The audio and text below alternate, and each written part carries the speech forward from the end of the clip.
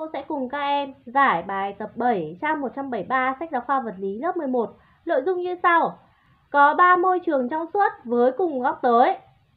Nếu truyền tia sáng từ 1 vào 2 thì góc khúc xạ là 30 độ. Nếu tia sáng truyền từ 1 vào 3 thì góc khúc xạ là 45 độ. Vậy góc giới hạn phản xạ toàn phần ở mặt phân cách giữa 2 và 3 có giá trị như thế nào? Tính tròn số. A là 30 độ, B 42 độ, C 45 độ và D là không tính được. Rồi như vậy để giải được bài tập 7 này thì các em có thể tóm tắt gọn lại để chúng ta dễ dàng phân tích hơn. Thứ nhất, đề bài cho chúng ta biết là khi mà ánh sáng truyền từ môi trường 1 sang môi trường 2 Cô gọi là môi trường có chiết xuất L1 sang môi trường chiết xuất L2 thì khi đó góc khúc xạ sẽ là 30 độ. Truyền với góc tới Y các em nhé Thì góc khúc xạ khi này là R bằng 30 độ. Tiếp theo, nếu vẫn truyền với góc tới Y từ môi trường 1 sang môi trường 3 thì khi này góc khúc xạ cô gọi đây là R1 này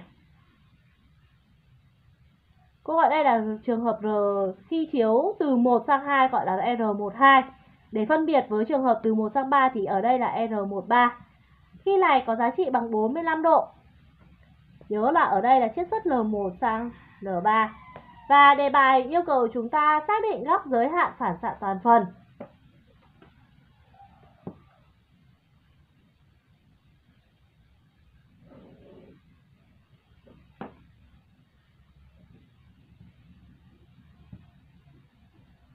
y giới hạn khi mà chiếu từ môi trường 2 sang môi trường 3.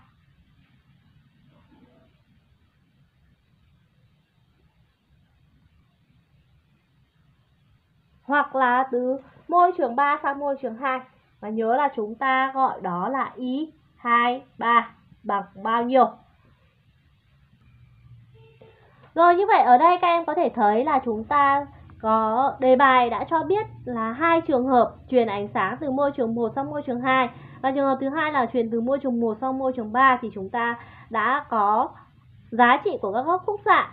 Vậy thì khi mà truyền ánh sáng qua mặt phân cách giữa hai môi trường trong suốt thì xảy ra hiện tượng góc khúc xạ ánh sáng và đương nhiên nó sẽ phải tuân theo định luật khúc xạ ánh sáng. Vậy thì dựa vào đây thì chúng ta sẽ uh, viết được hai biểu thức tương ứng định luật uh, tức là áp dụng định luật khúc xạ ánh sáng cho hai trường hợp này thì chúng ta sẽ thu được hai biểu thức và bây giờ chúng ta sẽ viết hai biểu thức đó.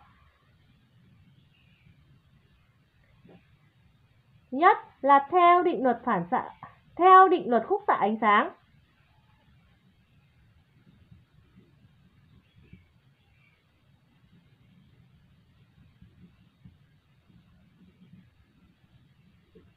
Thì khi đó chúng ta với môi trường 1 sang môi trường 2 là ánh sáng truyền từ môi trường 1 sang môi trường 2. Thì khi này ta có là L1 sin Y bằng L2 nhân với sin R. R12 ở đây bằng sin 30 độ. Trường hợp 2 Ánh sáng. Khi này truyền từ môi trường 1 sang môi trường 3 Vậy tương tự thì ta sẽ có là L1 sin Y bằng L3 sin với R13 chính là 45 độ.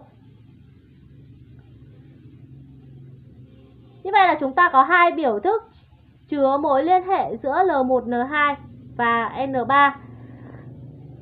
Bây giờ gọi, bây giờ chúng ta chia về với vế của hai biểu thức, chúng ta thấy là có chung, giá trị là L1 sin Y. Vậy từ đây thì các em suy ngay ra được là vế phải của hai biểu thức này bằng nhau. Có nghĩa là L2 sin 30 độ sẽ bằng với L3 sin 45 độ. Từ đây, các em rút ra tỷ số Tỷ số ở đây chúng ta có thể rút ra là tỷ số L3 trên L2.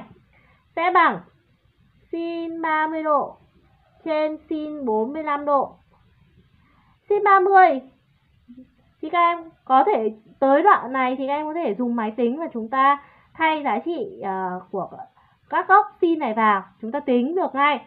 Hoặc với bạn nào có thể nhớ giá trị thì chúng ta sẽ nhớ luôn sin 30 ở đây bằng 1 phần 2.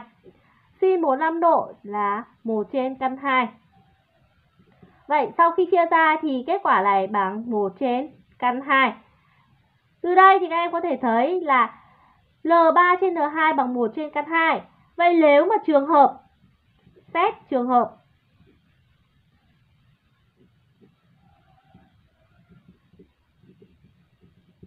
Ánh sáng truyền từ môi trường 2 sang môi trường 3